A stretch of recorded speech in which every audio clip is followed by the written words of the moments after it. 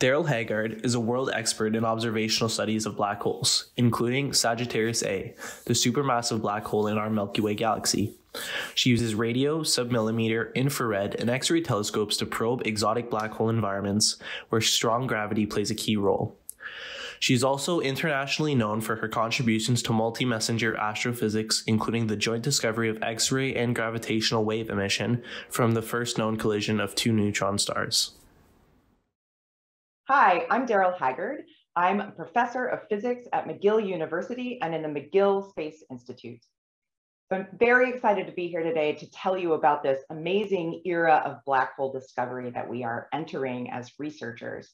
So I'm going to tell you about two different collaborations that I have the incredible privilege to work closely with or be a part of.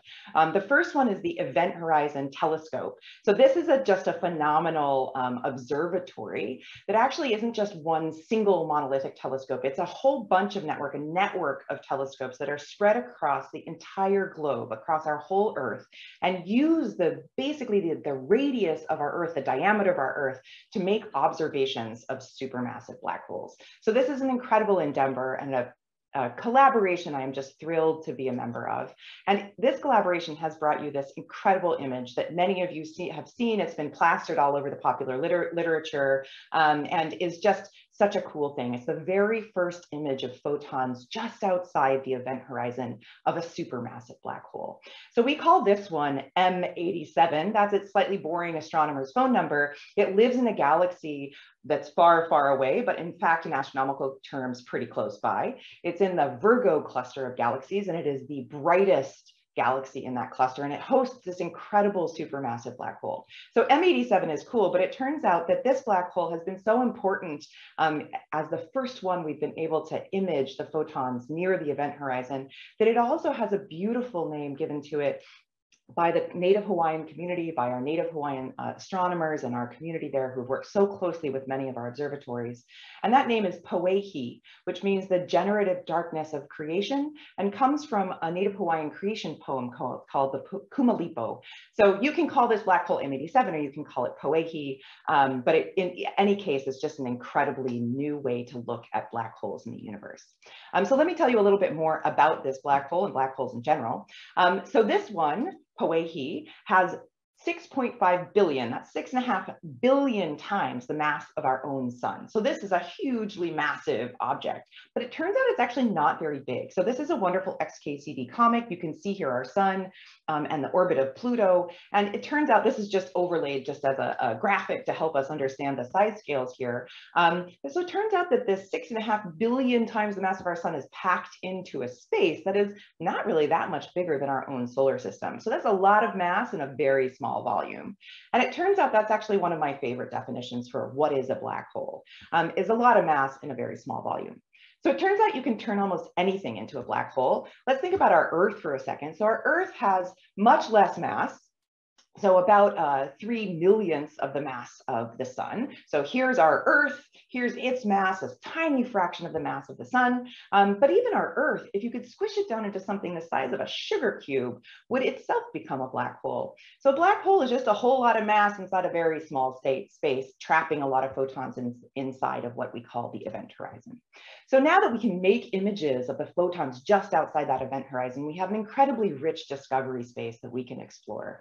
We can use uh, very, very intricate GR, MHD, gravity, you know, general relativistic magnetohydrodynamic simulations of black holes to understand what those photons are doing. And we can look at larger scales to understand how this black hole interacts with the environment. And so my group works a lot on that interaction. We actually use only the Event Horizon Telescope, but telescopes in space and across the globe observing at lots of different wavelengths.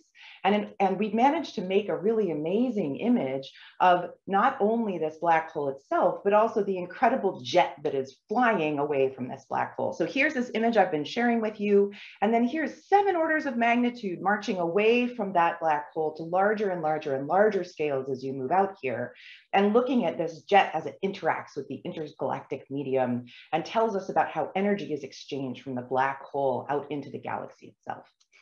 So we're also hoping to share with you some new um, discovery space about supermassive black holes from the Event Horizon Telescope, um, from the black hole that lives here in the Milky Way galaxy, Sagittarius A star. So stay tuned. We're hoping to bring you that information sometime very soon. So, but then there's a whole other era of discovery happening in black holes. Turns out we can also study small black holes, not the supermassive black holes, but ones that have something more like the mass of our sun, say 10 times the mass of our sun, or maybe 100 times the mass of our sun. So these small black holes are actually discovered via a totally different and also amazing method known as gravitational radiation. So gravitational radiation is where you have two objects orbiting around one another in space, and they cause ripples in space-time. And we can detect those ripples in space-time using these amazing new instruments called LIGO, Virgo, and Kagra. These are laser interferometry um, experiments, and you can see one of the people back here working on this incredible LIGO mirror system. So very, very cool instrumentation, which has brought us this entirely new population of black holes that we could not see before. So these are all discovered via gravitational radiation. I'll superpose the electromagnetic black holes that we know through their photon through light coming from outside the event horizon. These are black holes up here, and these are neutron stars down here. Sometimes they merge together to build black holes out of neutron stars. And indeed, my research group has been very fortunate to study a few of these mergers, in particular, the very first neutron star neutron star merger that's ever been detected via gravitational waves and also um, electromagnetic radiation, light or photons. Um, and so this is what that merger looks like. These are, uh, this is a graphic from NASA of two neutron stars orbiting around one another, causing ripples in space-time smashing into one another and in that collision creating a huge explosion that ejects all sorts of energy and in fact material into the interstellar space um, and creates platinum and gold and all sorts of elements that we need for life on earth and for all sorts of other endeavors. Um, so we're also hoping to build experiments like this that can detect gravitational waves that are even larger out in space. And so stay tuned for that. That experiment is called LISA and it's coming soon um, to a science space near you, 2035-ish. Um, so I would be remiss not to tell you that my um, team is amazing at McGill. All of this work is done in collaboration with this incredible group of people, graduate students, postdocs, undergraduates at McGill University, and also in collaboration with the Event Horizon Telescope and the LIGO Virgo collaborations. So stay tuned. There's more great stuff coming. Um, and we're just really excited to be talking more and more about black holes and sharing them with all of you.